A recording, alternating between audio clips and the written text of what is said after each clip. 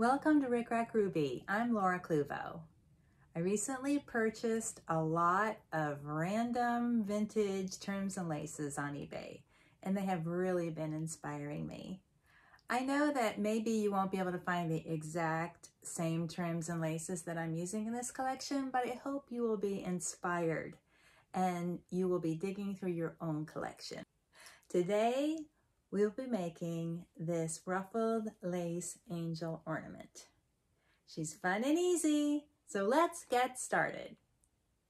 I purchased a lot of sort of retro craft trims on eBay, and among the items was this lace. I didn't really understand what it was. I just assumed it was this little bit just wrapped around, but it's actually this nice wide, interesting lace. This center um, is a ribbon, and then there's gathered laces, one, two, three, one, two, three, going in opposite directions. So when I try to just gather it up like this, that didn't work because these laces are, are up this way. And so I decided to try cutting these two top layers off and then adding them to the bottom and then having this be sort of like the collar and that worked pretty well. So I'm going to cut a nine inch length of this and I'm going to go over to my iron and deal with these little bits that have been caught up in the wrapping and make sure everything's flat and smooth. I'm going to remove these two layers of lace.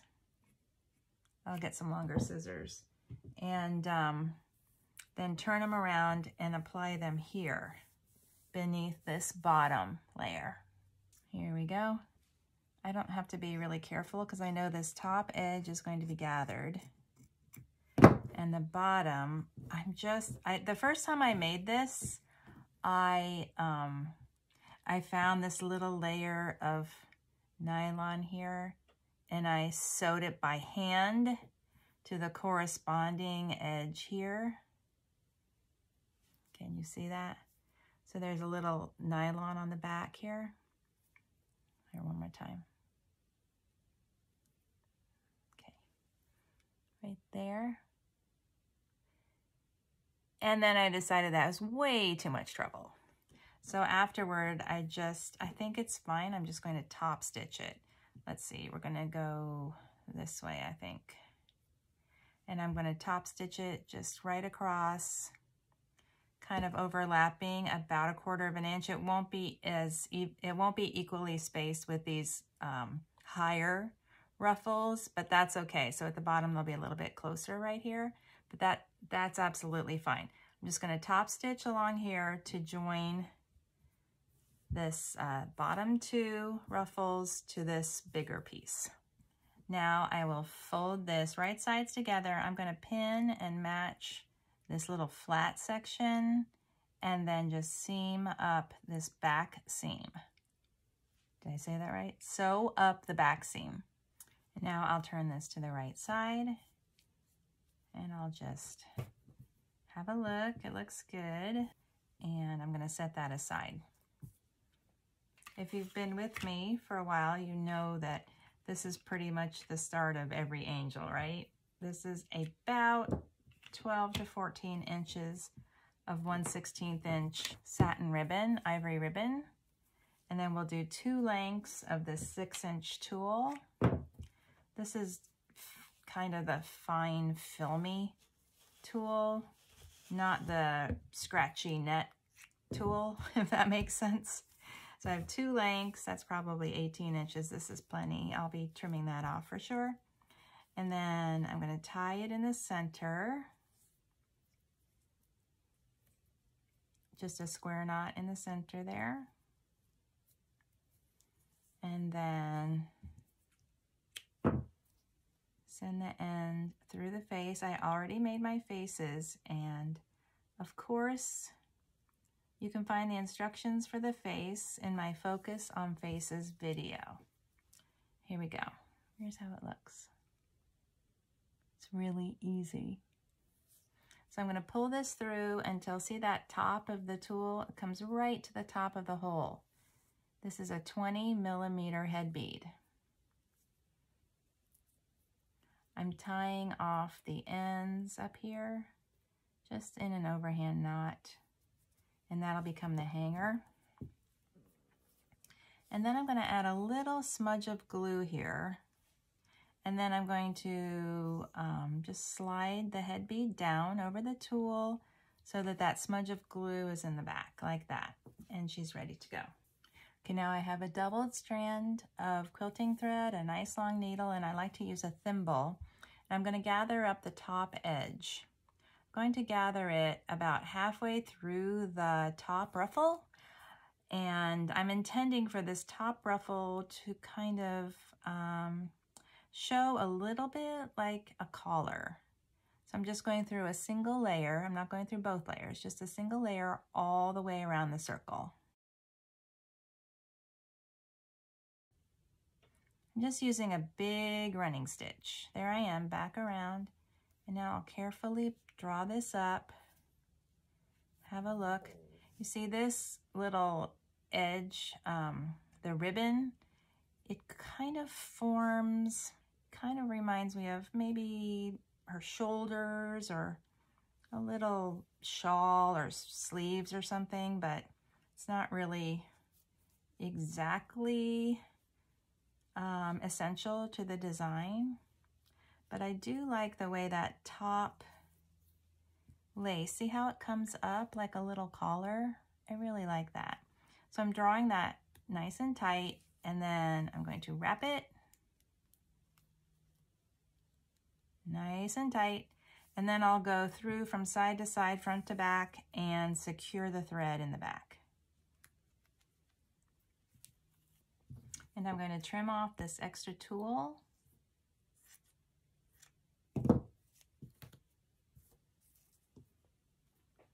And have a look. This is a 20 millimeter head bead and the total height of this dress is four and a half inches just uh, for your reference. Now I'm going to add a little bow from this and some flowers. These are the paper forget-me-nots. They're not hard to find. You can search on eBay or Etsy or even Temu to find these. All right, so first I'll tie a little bow. I like the streamers to be about the length of the dress. Let's see. That looks right.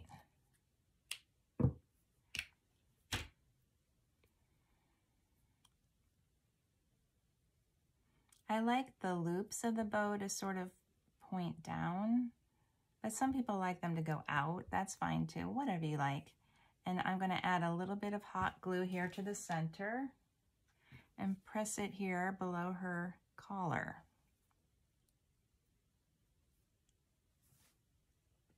For the flowers, I'm going to pull out one of these little clusters. There are five flowers plus a couple little buds. I like to use this white florist tape. You only need a tiny bit. And I'm going to wrap this up close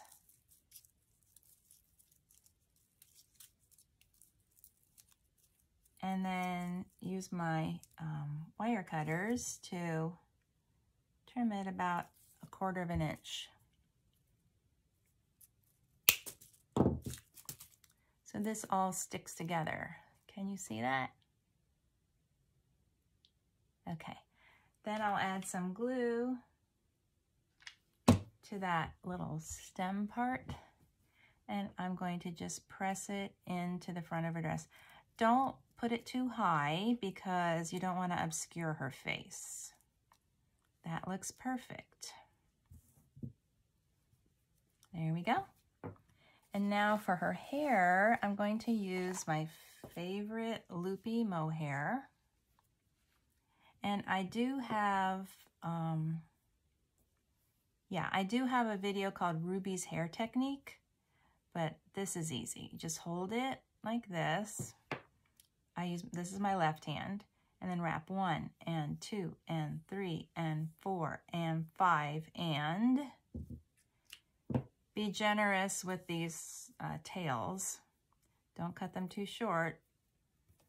And then I'm just tying it in the center like that. You need two bundles, one for the back and one for the front. Nice long tail, hold it like this. One and two and three and four and five and a nice long tail. Now take the top tail and go all the way around, complete revolution around the center of the bundle. And then tie it off like that, the, a square knot in the center. Pull it nice and tight and then trim the tails. So there's my second bundle. And I do have a video just on this called Ruby's Hair Technique. All right, so first I'm going to spread some hot glue on the back of her head. I'm careful not to get the ribbon caught up in the glue. And then I'm just gonna um, glue the center of the bundle right behind the ribbon up there. And then I'm pressing the loops into the back of her head. Now, the wings will cover the back of her head. So it's not super important to get it to look all pretty back there. I just like for there to be a little bit showing on the sides like that. Now the second bundle's for the front, and this one I try to be a little bit more careful with. I'll start by squeezing out some glue right here in front of the ribbon.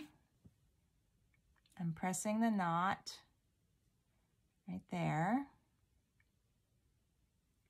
And then I'm going to twist each side toward the back of the head to form her hairstyle. Oh, I hate for you to see my glue gun. Hold on. Okay, so I squeezed out a line of glue along the side of her face there. And then just twist this section toward the back. And then again on this side, twist this toward the back. I'm going to add a line of glue right here and then press that into the glue.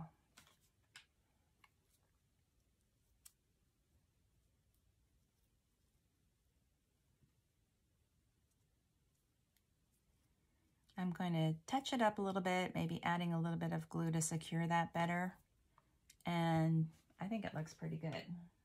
Now for her halo, I just need two inches of this 20 gauge gold wire. This is just craft wire from the craft store. I like to use my thimble to shape the halo into sort of a U, like that. And then I'll add a little bit of glue to each end. So there's a drop on each end, and then I just sort of press that in like that.